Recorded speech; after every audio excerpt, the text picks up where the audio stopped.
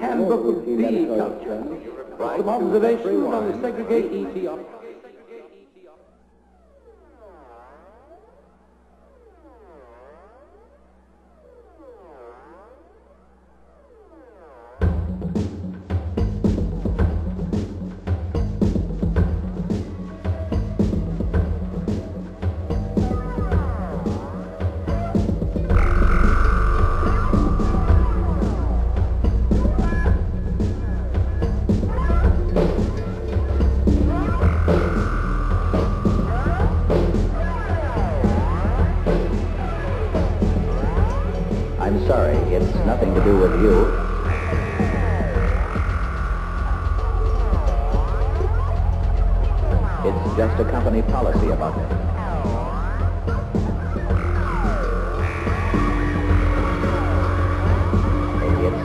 do with you.